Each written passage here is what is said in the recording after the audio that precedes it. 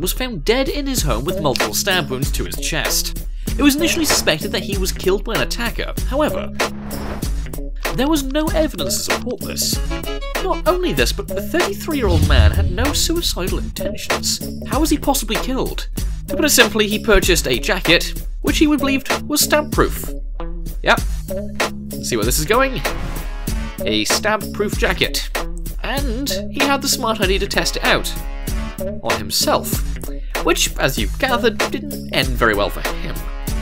Instead of testing the jacket by simply stabbing it, or even with a mannequin, or literally anything else, he decided to stab himself while wearing the jacket with a knife. You can't help but think that when he stabbed himself the first time and the jacket didn't work, why try again? A 45 year old man made a daring but foolish decision after he lowered himself into a lion enclosure at Kiev Zoo in Ukraine. After removing his jacket and shoes, the 45 year old lowered himself into the enclosure, which held four lions, using a rope. Man then shouted, God will save me if he exists, while horrified onlookers screamed at him to get out. However, it was a bit too late by then, as this attracted the attention of a lioness in the enclosure, who pounced on the man and slashed his throat, severing his carotid artery. Man was instantly killed, and 10 puncture wounds were left on his neck.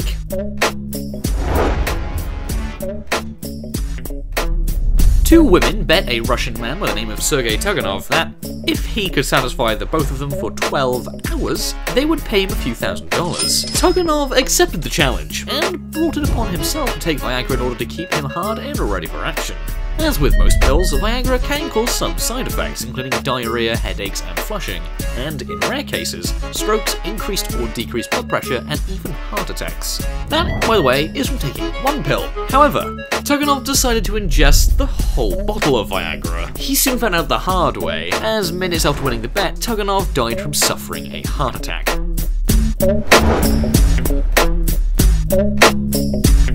A 38 year old lawyer by the name of Gary Hoy died after claiming that the windows of the skyscraper where he worked were unbreakable.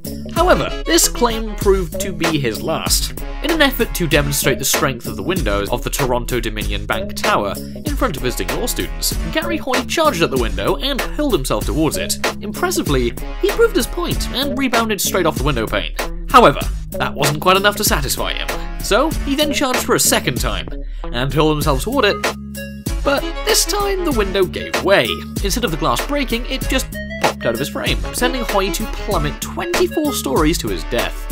I guess he was technically right by saying that the glass was unbreakable as it didn't actually break, but regardless, he fell to his death. Hoy was considered as one of the best and brightest members of the law firm where he worked, however, he wasn't too bright on that particular occasion.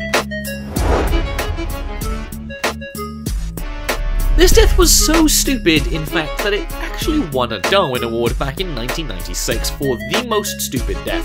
A Polish farmer was drinking with his friends when it was suggested that they strip naked and engage in some manly games, in order to determine who was more masculine than the other one. They started by hitting each other with frozen turnips in their head. And no, that's not a euphemism. Before one of the Polish farmer's friends took the game to the next level by cutting off the end of his own foot with a chainsaw. The farmer wasn't going to be outdone, however, so he grabbed a chainsaw and shouted, Watch this then, before cutting off his own head. Now, I'm not sure who the most stupid person in that situation is, the turnips or the men, and I kinda think it's the men. Thank you so much for watching. If you did enjoy the video, then please be sure to hit that like button and maybe even share the video too. Also, let us know your thoughts in the comment section below, as well as what you'd like to see next. And why not subscribe to the channel if you haven't already? Lastly, to those of you who are in the notification squad, we salute you.